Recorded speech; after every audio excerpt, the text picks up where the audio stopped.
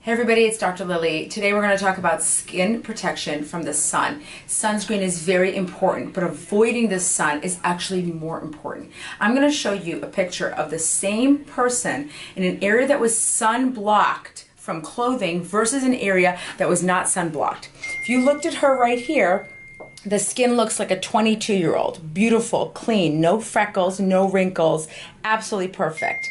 If I do this, if you focus on her neck, the neck has wrinkles, it has sun damage, it's two different colors. There's a lot of laxity in the skin. So this is 82 year old skin, almost 22 year old skin, but it's on the same person. So same person, sun protected, sun not protected skin. It's a big difference. Wearing your sunscreen and staying out of the sun will save you by 40 years.